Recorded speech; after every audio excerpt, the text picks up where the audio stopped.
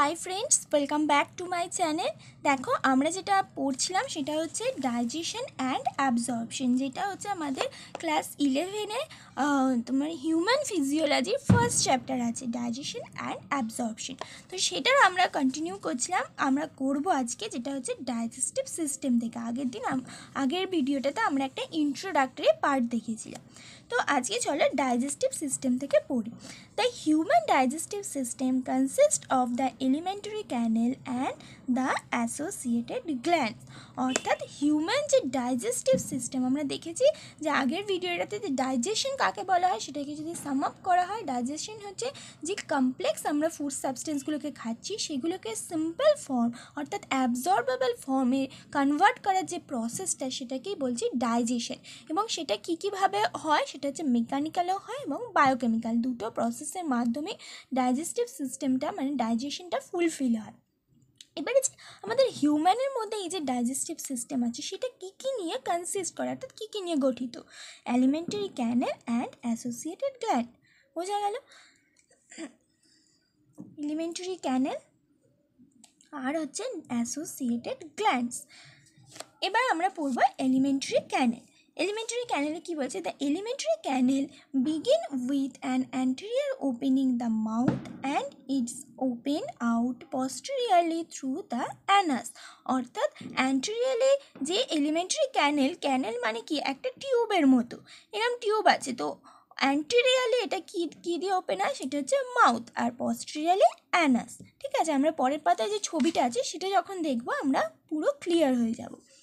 The mouth leads to the buccal cavity or oral cavity অর্থাৎ মাউথে কি আছে? বাক্কাল ক্যাভিটি অথবা সেটাকে আমরা ওরাল ক্যাভিটিও বলতে পারি। The oral cavity has a number of teeth and a muscular tongue অর্থাৎ ওরাল ক্যাভিটি কী কী নিয়ে তৈরি? সেখানে আছে টিথ আছে এবং হচ্ছে একটা মাস্কুলার টাং আছে। তাহলে আমরা কী কী জানলাম?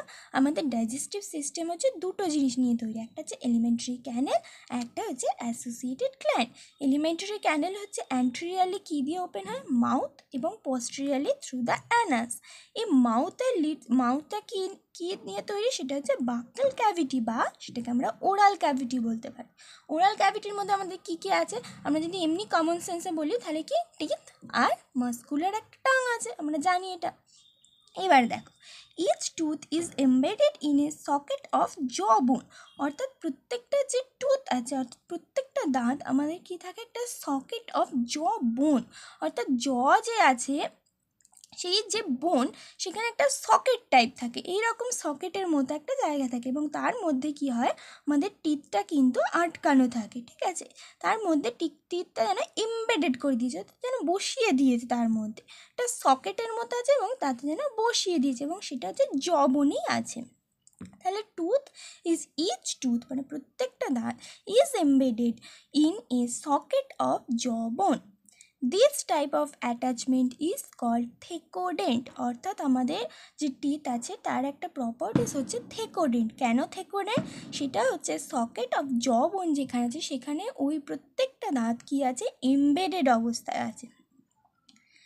এরপর দেখো majority of mammals including human being forms two sets of teeth during their life অর্থাৎ বেশিরভাগ স্তন্যপায়ী প্রাণীদের ক্ষেত্রেই যেমন ইনক্লুডিং হিউম্যান বিইং মানে হিউম্যান বিইং সমেত কি দেখা যায়? দুটো টিথ মানে টু সেটস অফ টিথ দেখা যায়। একটা আমরা বলি দুধে দাঁত, একটা দুধে দাঁত বেরোয় এবং তারপর কি হয়? দশ এগারো বছর বয়সে সেটা পড়ে গিয়ে তারপর আবার পারমানেন্ট যে টিথটা বেরোয় সেটা বেরোয়।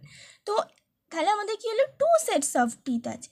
দু দুবার মানে প্রথমবার একবার দাঁত গজায় এবং তারপর সেটা পড়ে গিয়ে আবার হচ্ছে হয়। তাহলে আমাদের যে লাইফ সেই লাইফে ডিউরিং দেয়ার লাইফ মানে তাদের লাইফে হিউম্যান বিংসের এবং মেজরিটি অফ দ্য ম্যামেলসের ক্ষেত্রে দেখা যায় টু সেটস অফ টিথ আছে। অর্থাৎ দুবার হচ্ছে দাঁত গজায়। কি বলছে? A set of a set of temporary milk or deciduous teeth replaced by a set of permanent or adult teeth অর্থাৎ যেটা আমরা দুধে দাঁত বলি বাংলায়, সেটাকে আমরা ইংরাজিতে কি বলছি? মিল্ক টিথ এবং টেম্পোরারি বলছি। অর্থাৎ সেটা কি? টেম্পোরারি সেটা হচ্ছে একবার থাকে এবং তারপরে সেটা তো চলে যায়। অর্থাৎ সেটা তো পার্মানেন্ট নয়। আমাদের লাইফের বেশিরভাগ সময়টা কি থাকে? পারমানেন্ট টিথটা ওটা একটা টেম্পোরারি কাজ করে। তো সেই টেম্পোরারি মানে সময়সীমা ধরে কাজ করে। তারপর সেটা হচ্ছে আবার মানে পার্মানেন্ট দিয়ে রিপ্লেস হয়ে যায়। তো সেই জন্য এটাকে আমরা temporary milk or deciduous teeth বলছি। এবং সেটা কি দিয়ে রিপ্লেসড হচ্ছে? Replaced by a set of permanent or adult teeth তাহলে অ্যাডাল্ট টিথ আমরা যেটাকে বলছি, সেটাকে আমরা বলছি পার্মানেন্ট টিথ এবং যেটাকে মিল্ক টিথ বলছি, সেটাকে আমরা বলছি deciduous teeth this type of definition is called diphyodont অর্থাৎ এটাকে বলা হচ্ছে ডাইফিওডেন্ট আগে আমরা বললাম থেকোডেন্ট। থেকোডেন্ট কেন? যে আমরা যে জ বোনস আছে, সেই জ বোনসের মধ্যে সকেট আছে। সেই সকেটের মধ্যে প্রত্যেকটা টুথ হচ্ছে এমবেডেড অবস্থায় আছে। সেই জন্য আমরা সেটাকে বলছি থেকোডেন্ট। আর ডাইফিওডেন্ট কেন বলছি? সেখানে হচ্ছে আমাদের প্রত্যে- প্রত্যেকের যে আমাদের লাইফ সেই লাইফে আমরা টু সেটস অফ টিথ দেখতে পারি। একটা হচ্ছে আমাদের অল্প বয়সে থাকে সেটা হচ্ছে দুধে দাঁত বা সেটাকে মিল্ক টিথ বা ডেসিডিউয়াস টিথ বা টেম্পোরারি টিথ বলা। সেটা হচ্ছে তারপর তোমার রিপ্লেস হয়ে কি হয়? পার্মানেন্ট অর অ্যাডাল্ট টিথ হয়। তো টু সেটস যেহেতু আছে, তাই আমরা সেটাকে বলছি diphyodont An adult human has 32 permanent teeth which are of four different type types অর্থাৎ এই যে অ্যাডাল্ট হিউম্যানের অ্যাডাল্ট টিথটা বেরোলো, সেখানে কটা টিথ থাকে? সেখানে থার্টি টু পারমানেন্ট টিথ থাকে। এবং এই যে থার্টি টু পারমানেন্ট টিথ আছে, তোমরা নিজেরাও দেখবে যে থার্টি টু যে টিথ আছে, আমাদের সব কটা কিন্তু একই রকম নয়। আলাদা আলাদা। তো সেই আলাদা মানে হচ্ছে ফোর ডিফারেন্ট টাইপস আছে। এই যে থার্টি টু পারমানেন্ট টিথ তার মধ্যে হচ্ছে চার রকমের ডিফারেন্ট টাইপ অফ টিথ আছে। সেই জন্য আমরা এটাকে বলছি হেটারোডেন্ট অর্থাৎ এক রকম নয়।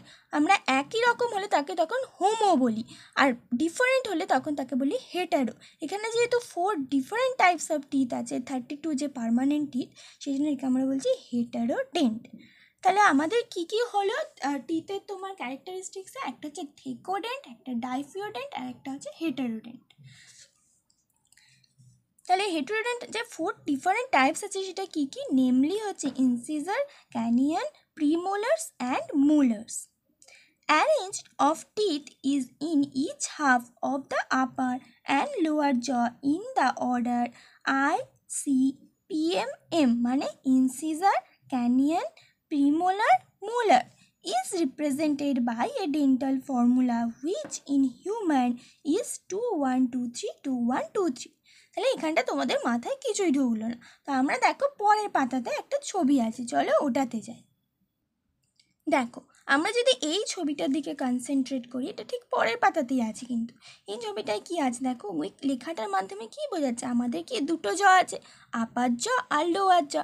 আমরা যদি একটা জকে কনসেন্ট্রেট করি এবং একটা জয়ের একটা হাফকে মানে একটা জয়ে যদি মাঝখান থেকে একটা লাইন টেনে দিই, মনে করো এটা একটা জ, এটা মনে করো লোয়ার জ। তাহলে লোয়ার জয়ের এরমই আপার জও আছে, তো আপার জটাকে আমি আঁকছি না।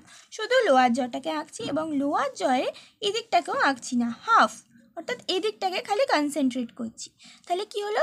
একটা আমাদের দুটো জ আছে, তার মধ্যে আমি একটা জকে ধরলাম এবং একটা জয়ের যে দুটো হাফ দুদিকে, তার আমি আর একটা একটা হাফকে ধরলাম। তাহলে একটা জয়ের একটা হাফে কি হচ্ছে দেখো? কিরম টিথগুলো আছে, তাহলে একটা, আমাদের টোটাল আছে থার্টি টু তাহলে থার্টি টু যদি টোটাল টিথ হয়, তাহলে আমাদের দুটো জ আছে। দুটো জয় তাহলে কত কত করে হবে? ওপরে ষোলো, নিচে ষোলো এবং প্রত্যেকটা জয়ের আবার দুটো করে হাফ আছে। তাহলে এক একটা হাফে কত হবে? আট আর আট। এদিকে আট এদিকে আট। আট আটে ষোলো হলো, আর নিচের জটায় ষোলো, ওপর জটায় ষোলো ষোলো ষোলো, বত্রিশ। তাহলে এই যে আটটা, এই আটটার মধ্যে কিন্তু চার রকমের ডিফারেন্ট টাইপ অফ টিপ থাকে। সেইটা কি কি? দেখো টু ওয়ান টু থ্রি এই ফর্মে কিন্তু থাকে।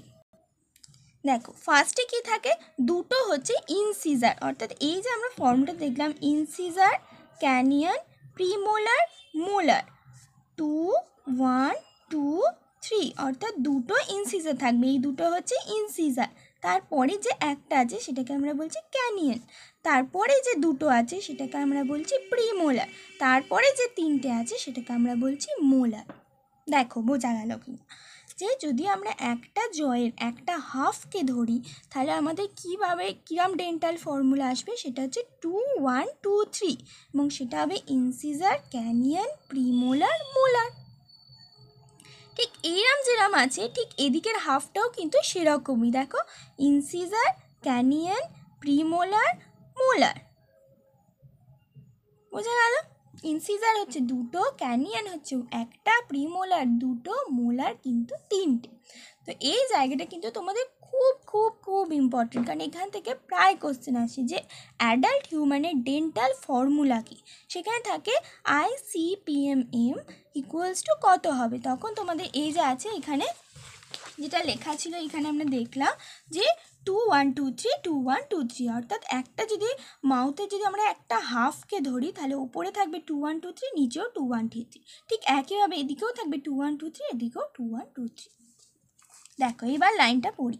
Arrangement of the teeth in each half of the upper and lower jaw in the order তাহলে আপার জ হচ্ছে ওপরটাকে ধরছি, নিচেরটাকে লোয়ার জ ধরছি।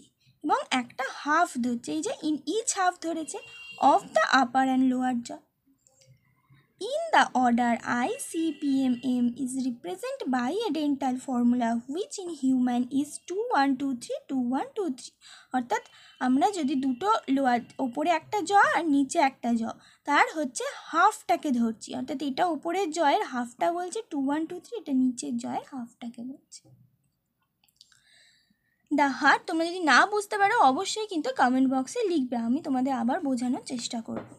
এবার দেখো কি বলছে the hard chewing surface of the teeth made up of enamel helps in the mastication of food অর্থাৎ কি বলছে অর্থাৎ এই যে টিথগুলো আমরা দেখলাম, তার উপরে কি থাকে? একটা এনামেল দিয়ে তৈরি হয় এবং সেটা কি হার্ড চিউইং সারফেস তৈরি করে। অর্থাৎ টিথের ওপরটা দেখবে খুব হার্ড এবং সেটা একটা চিউইং সারফেস তৈরি করছে এবং ওই হার্ড হওয়ার ক্ষেত্রে কিন্তু আমরা চিবোতে পারি কোনো খাবার।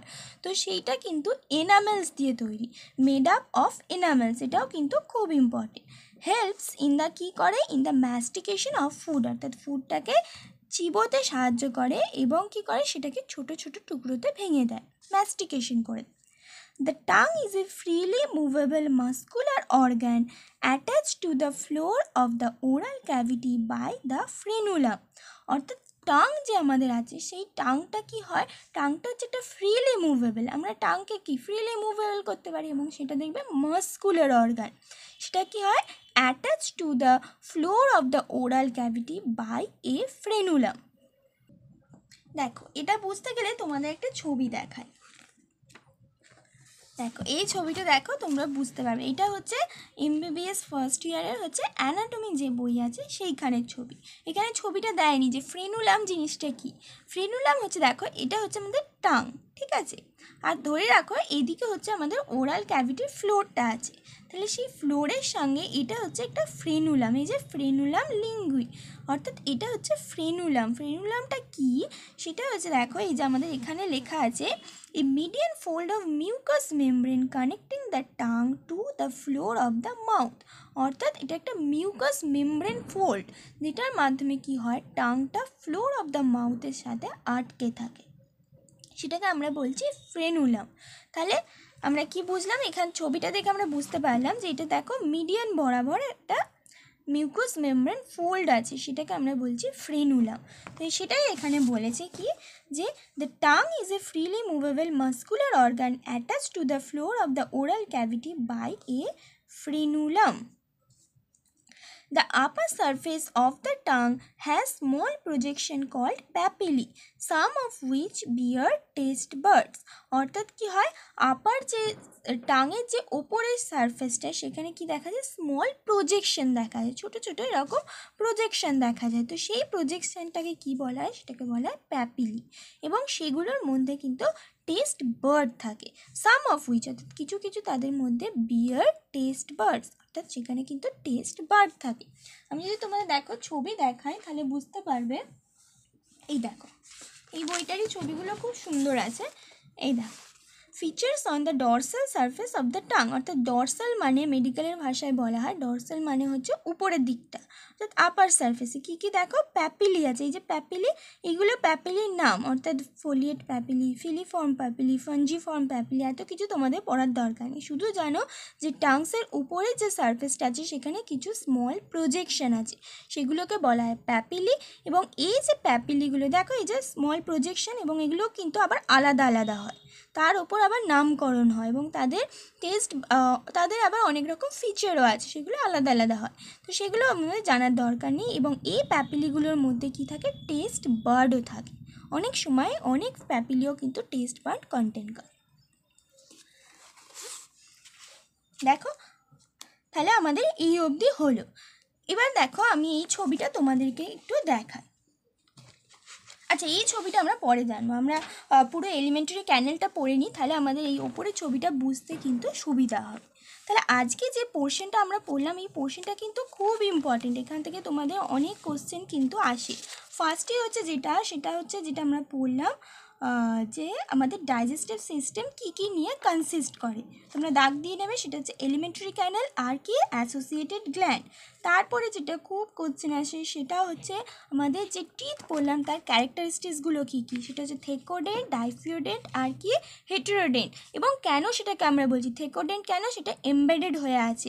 কোথায়? না, জয়ের যে সকেট বোনগুলো আছে, সেখানে। ডাইফিওডেন্ট কেন? আমাদের যে লাইফ সেখানে আমরা ডিউরিং মানে সবার লাইফেই দেখা যায় যে টু সেটস অফ বোন হয় একটা হচ্ছে মিল্ক টিথ একটা হচ্ছে পারমানেন্ট টিথ আর হেটেরোডেন্ট কেন? আমাদের যে টিথগুলো আছে থার্টি টু অ্যাডাল্ট টিথ সেগুলো সব four different types of teeth নিয়ে তৈরি। সেগুলো কী কী?